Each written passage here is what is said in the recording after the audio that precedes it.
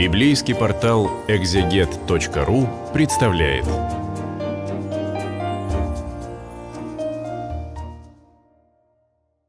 Сегодня на библейском портале «Экзегет» мы продолжаем изучение книги Второзакония, и сегодня мы будем читать 30 главу этой книги.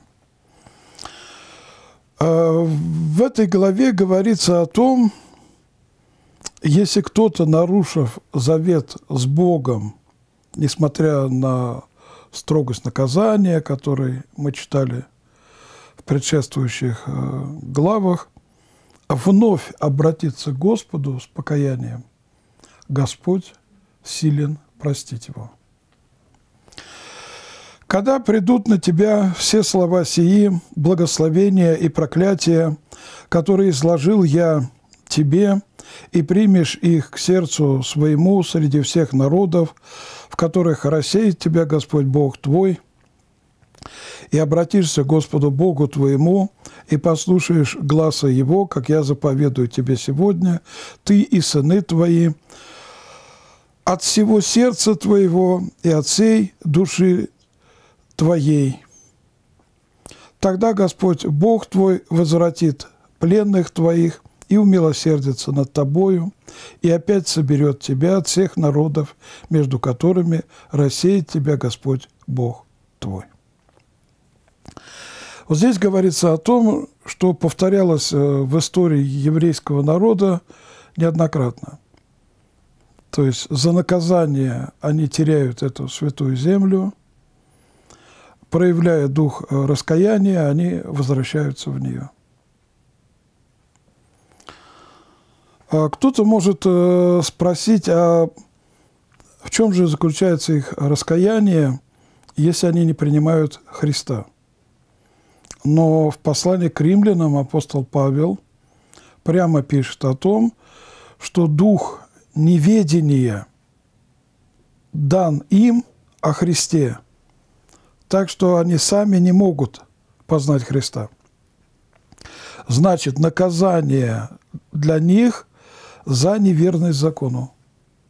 И когда через наказание они начинают каяться, они возвращаются в землю, а то, что мы называем их обращение ко Христу, это произойдет аж в дни Антихриста. Об этом говорится и в Писании, и у многих отцов э, церкви.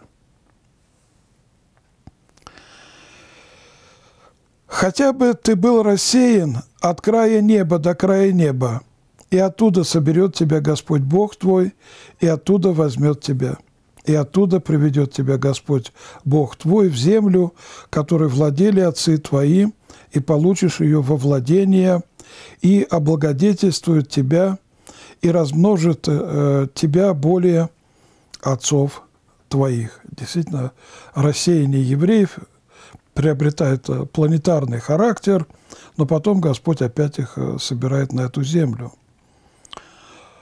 И последний раз Он соберет их для того, чтобы они приняли Христа.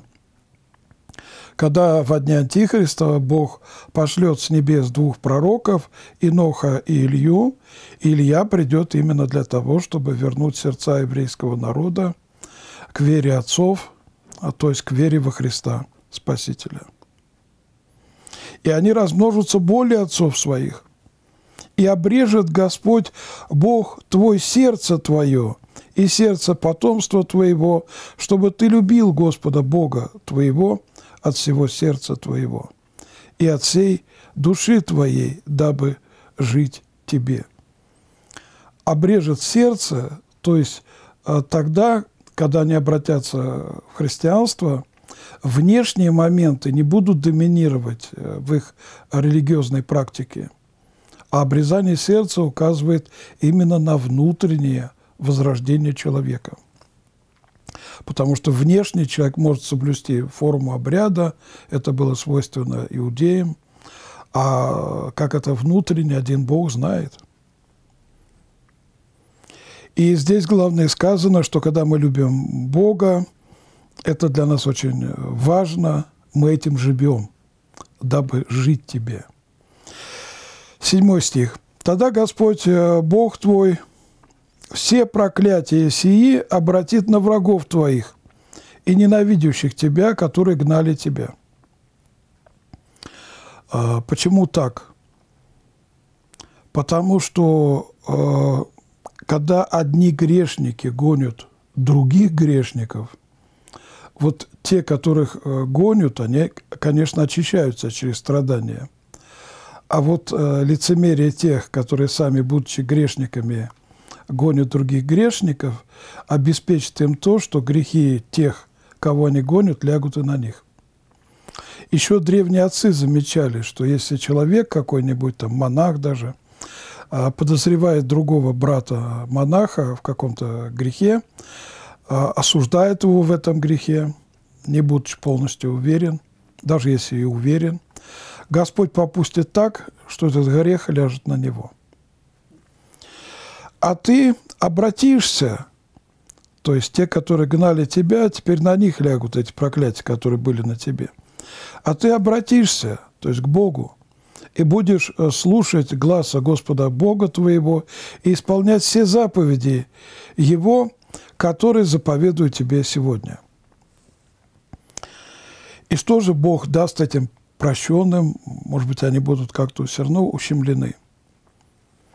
С избытком даст тебе Господь, Бог твой, успех во всяком деле рук твоих, в плоде чрева твоего, в плоде скота твоего, в плоде земли твоей, ибо снова радоваться будет Господь Бог твой о тебе, благодетельствуя тебе, как Он радовался об отцах твоих, если будешь слушать гласа Господа Бога твоего, соблюдая и исполняя все заповеди Его и постановления Его и законы Его. А кто-то может сказать, ну а почему же такая радость о том, который был отступником? Вспомните евангельскую притчу о, о блудном сыне, как отец радовался, как отец выбежал к нему навстречу и обнял его. И Господь будет радоваться, если мы будем исполнять законы, написанные всей книге закона, и если обратишься к Господу Богу твоему всем сердцем твоим и всею душою твоею. Здесь можно понять так, что обращение сердцем – это личное обращение, всей душою твоею – это все семейство твое. То есть а, душа в смысле кровь, как мы о детях своих говорим. Это кровинушка моя. То есть обращение тогда считается всецелым, когда обращается а, целая семья. Поэтому Христос и говорил, что надо ходить, проповедовать по домам, не выхватывать людей на улице, случайно идущих, а чтобы целое семейство оглашать евангельским благовестием. «Ибо заповедь сия, которую я заповедую тебе сегодня, не недоступна для тебя и недалека». Вот некоторые представляют, что заповеди Библии, они очень строгие.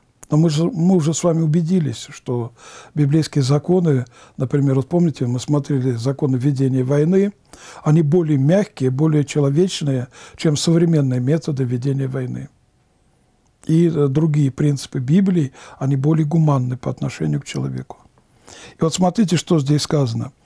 «Ибо заповедь сия, которую я заповедую тебе сегодня, не недоступна для тебя и недалека. Она не на небе, чтобы можно было говорить, кто взошел бы для нас на небо и принес бы ее нам, и дал бы нам а, услышать ее, и мы исполнили бы ее.